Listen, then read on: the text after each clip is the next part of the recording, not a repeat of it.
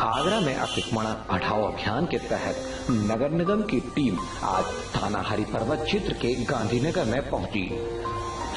आज नगर निगम की टीम और पुलिस ने हटवाया अतिक्रमण।